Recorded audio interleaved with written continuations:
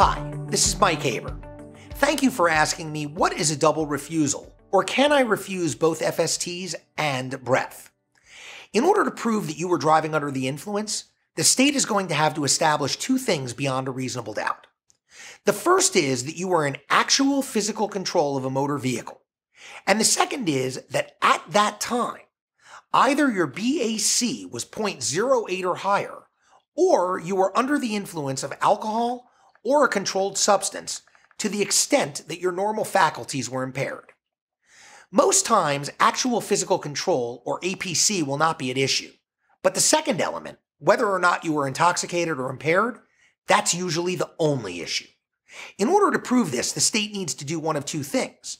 They either need to establish tangible evidence that your BAC was 0.08 or higher, which can only come from breath or blood testing, or they need circumstantial proof that you were under the influence of alcohol or a controlled substance to the extent that your normal faculties were impaired. If you blow 0.08 or higher, then you yourself will have armed the state with physical, scientific evidence that establishes a presumption of your impairment.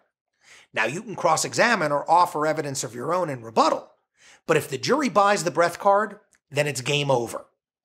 If you refuse, then absence the existence of other damning physical evidence, like an open container or a bag of weed or some loose pills, the state is going to put on a purely circumstantial case with no physical evidence and relying entirely, 100%, upon the observations and conclusions of their law enforcement witnesses. Cops are always going to loud an overwhelming odor of alcohol, your obvious bloodshot, watery eyes, your slurred speech, and the reason you were stopped in the first place. But without FSTs to rely upon, the state's case is significantly weaker than it is with them.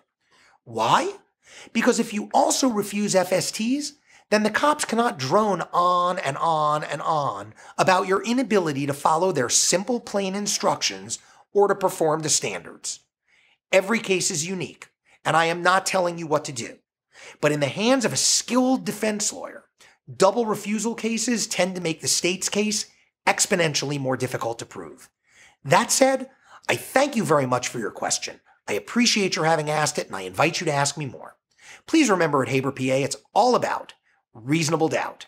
And if you like this video, then please subscribe to our YouTube channel. We'll be putting out more soon.